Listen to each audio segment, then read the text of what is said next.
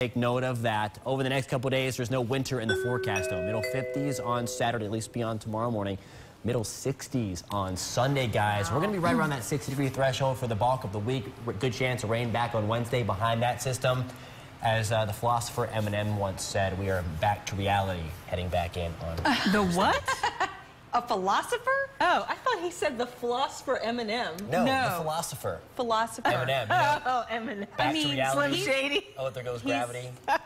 Can If that- on air?